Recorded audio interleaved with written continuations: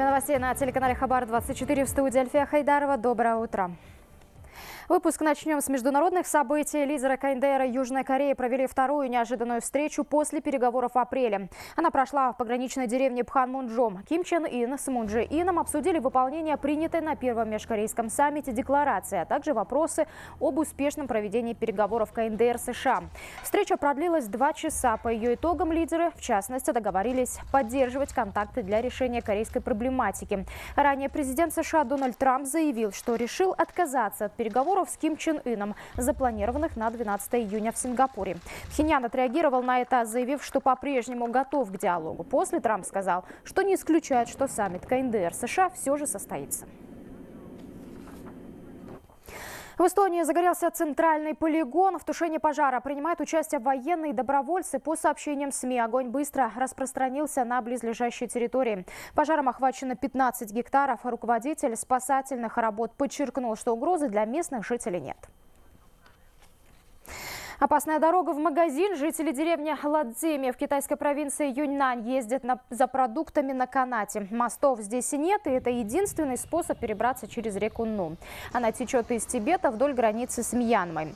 Тросовой переправой местные жители пользуются уже десятки лет. Привыкли, но риск существует всегда, особенно при переправе с маленькими детьми и в дождливую погоду, когда скользко. В рабочем состоянии конструкцию поддерживают несколько местных мужчин.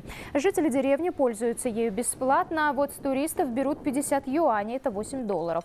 Последнее время в этом отдаленном регионе стали активнее возводить инфраструктуру, и жители Ладзими надеются, что дойдет очередь и до них. Сейчас условия стали немного лучше, и в других деревнях строят мосты, поэтому там канатные переправы убирают. Но здесь у нас моста нет, поэтому пользуемся тросом. Неудобно, но приходится пользоваться, поскольку иначе вообще нельзя перебраться через реку. Пока только так. В парламенте Кыргызстана предлагают принять государственную концепцию по внедрению стандартов зеленой экономики. И хотя депутаты заговорили об этом только сейчас, научная общественность, гражданские активисты, инноваторы уверяют, что уже не первый год говорят о важности экологичных стандартов, за которыми будущее не только страны, но и всей планеты. В далекие годы начала независимости Кыргызстан был одной из самых экологически благополучных стран СНГ. По оценкам специалистов, соотношение нетронутых экологических систем к тем, что подверглись влиянию человека, составляло 80% к 20%, когда нормой было 60% к 40%. Но потребительское отношение к окружающей среде привело к тому, что этот баланс сейчас выглядит зеркально наоборот. Неудивительно, что экологи уже который год бьют тревогу. Осталось только 20% ненарушенных а это 80% уже нарушено. Ну и здесь тоже в некоторой степени сыграло и то, что экономика наша далеко не зеленая была. Экология, это не экономика у нас была, ну так сказать, менеджеристская.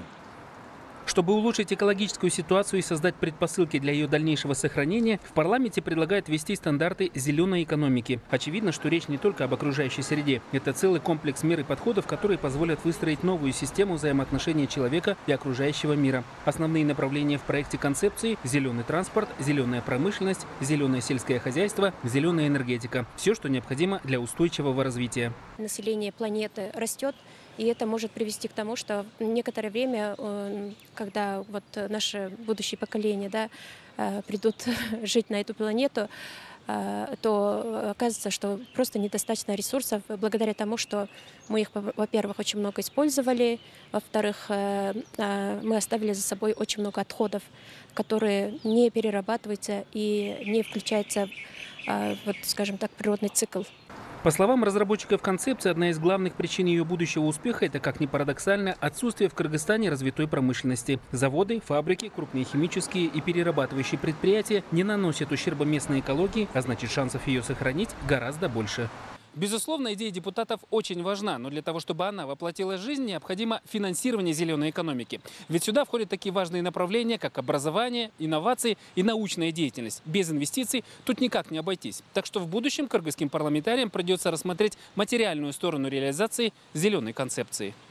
Бакачер Маша специально для Хабар-24, Бишкек, Кыргызстан. Ну а вот в Китае планируют отказаться от ограничения по количеству детей в одной семье. В стране таким образом попытаются снизить темпы старения населения. Новая политика независимой рождаемости позволит жителям самим решать, сколько детей заводить. Решение может быть принято в конце текущего года и начале 2019 -го. Что думает по этому поводу обычные жители, расскажет наш корреспондент. Ли Тян работает в торговой компании в Пекине. Новость о возможном снятии ограничения на рождаемость ее обрадовала. Правда, сама молодая мама второго ребенка заводить пока не спешит. В условиях загруженности работы с двумя детьми справляться будет сложно, говорит сотрудница офиса. К слову, такого мнения придерживается большинство жителей Поднебесной. Нам нужно воспитать нашего ребенка, пока мы не планируем второго. Семьям, живущим в больших городах, растить несколько детей приходится нелегко. Большую часть времени мы на работе. Но все-таки я за то, чтобы убрали ограничения на рождаемость. Политика «Одна семья, один ребенок» стартовала в 1979 году. Ограничение рождаемости заставило поколение китайских родителей платить штрафы, делать аборты. Однако это привело к снижению работоспособного населения. И с 2016 года супружеским парам в Китае официально разрешили заводить двоих детей. У меня двое детей. Сын родила в 2016 после того, как разрешили заводить двоих. По словам эксперта по общественному развитию Сунжьяна, сегодня молодые не спешат жениться. А если создают семьи, то не спешат заводить детей. В приоритете у многих карьера. Поэтому правительство Китая теперь готовит программу по поддержке супружеских пар, растящих несколько детей. С тех пор, как разрешили иметь двоих детей, прошло не так много времени.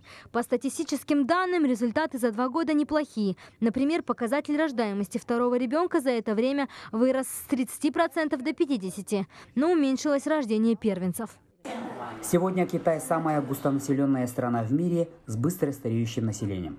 По статистике в государстве на 30 миллионов мужчин больше, чем женщин. Власти признали, что 40-летняя политика «одна семья, один ребенок» привела к снижению рождаемости, демографическому дисбалансу и ослаблению экономики. Нурбек Пекен, Джан Сюй, Хабар 24, Пекин.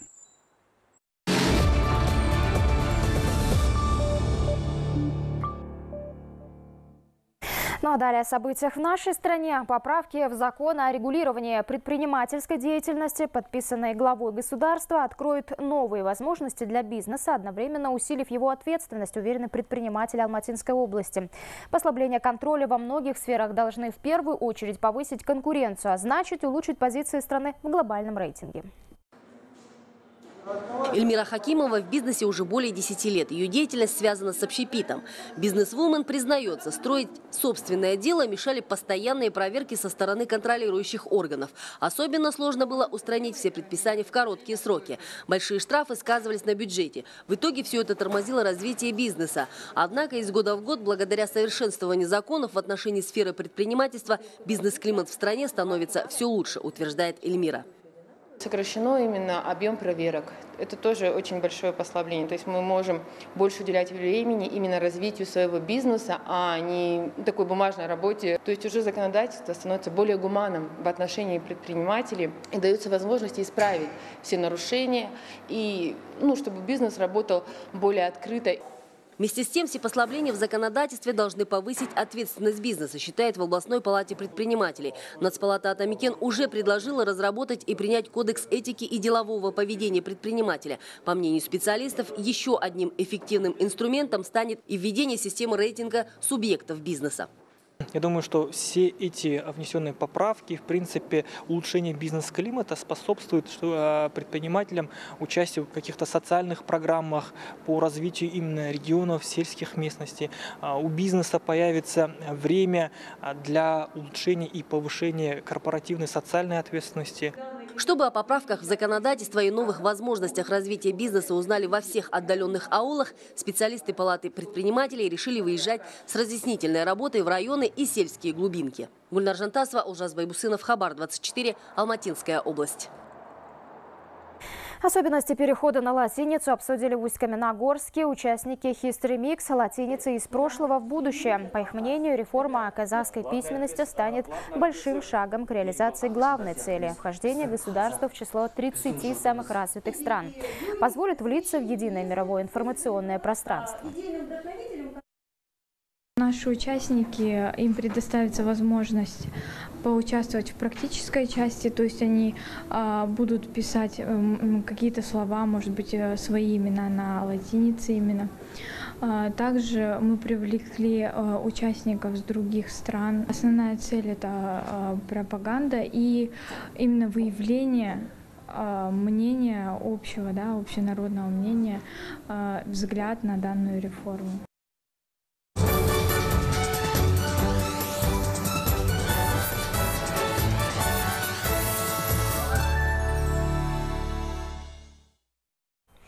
Продолжаем выпуск. В Анкаре прошла презентация повести Бердебека Сокпакбаева «Меня зовут Кожа». Переведенное на турецкий язык произведение презентовали в рамках Дней Казахстана в Турции, которые проходят в ходе реализации программы президента Казахстана «Взгляд в будущее. Модернизация общественного сознания» и в честь 20-летия Астаны. Дни Казахстана пройдут в Анкаре, Малате, Шангалуфе и других городах. Запланированы праздничные концерты и круглые столы с участием известных политиков и представителей интеллигенции. Подробнее в следующем материале. Литературные ценители Турции познакомились с еще одним произведением казахской классики. Знаменитую повесть «Меня зовут Кожа» известного писателя детской литературы Бердыбека Сокпакпаева, изданную на 67 языках мира, впервые перевели и на турецкий. В официальной презентации произведения в Анкаре приняли участие дочь писателя Самал Сокпакпаева, представители турецкой интеллигенции и юные читатели. Переводчик Жамиля Канажи, благодаря которой герои произведения заговорили на турецком, надеется, что произведение полюбится многим читателям Турции. Бердибек Сокпакбаев – один из самых сильных писателей. Глазами одного мальчика ему удалось показать образ всей нации. Несмотря на то, что Кожа еще совсем мал и наивен, у него широкая душа. Казахские и турецкие народы похожи, братские нации. Поэтому, думаю, и в мышлении детей есть схожести. Наш Кожа – это ваш Кожа, и также наоборот. После презентации книги в драматическом театре состоялся показ одноименного фильма, снятого по сценарию повести Бердбека Сокпакпаева. Турецкие школьники прониклись атмосферой интересного детства казахских ребят в ауле 50-х годов прошлого века. Образ Каужи понравился многим. Посольство Казахстана в Турции теперь планирует сделать дубляж фильма на турецком языке для трансляции на телевизионных каналах Турции в будущем. Фильм «Меня зовут Кожа» перенес меня в другое время, в другой мир. У Кожи особенный характер, воспитание, восприятие мира. У него богатый внутренний мир. Я бы назвал его борцом за справедливость и честность. Сейчас таких ребят немного. Презентация очередного казахского произведения на турецком – вклад в развитие культурных отношений между Казахстаном и Турцией. Горизонты взаимного сотрудничества расширяются с каждым годом. И Дни Казахстана в Турции – еще одно доказательство этого. Асям Хасенкза, Айдана Карибжанова, Ержан Жунис и Седат Денли. Хабар 24. Турция. Фестиваль кумыса впервые прошел в Бурабае. Весь день на свежем воздухе можно было дегустировать пять видов этого целебного и бодрящего напитка и даже приобрести его. Мероприятие, посвященное 20-летию Астаны, сопровождали национальные игры и концертная программа. Выходной в национальном колорите провела и наш корреспондент Мадина Смоголова.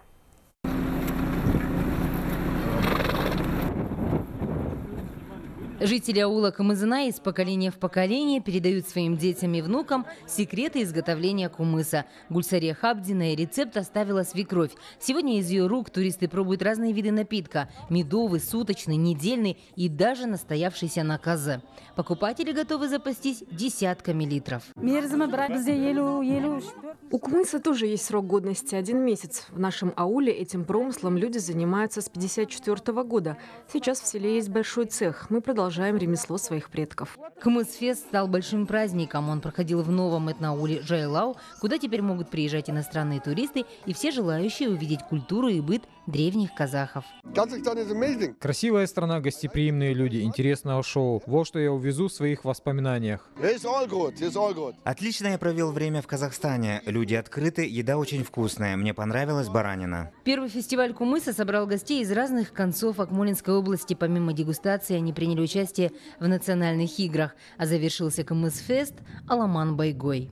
Мадина Смоголова, Анатолий Полян и Евгений Шинкаренко, Акмолинская область, Хабар 24. Больше новостей смотрите на нашем сайте 24 КЗ. Тогда нам часу у нас пока все. Спасибо за внимание. До встречи в эфире.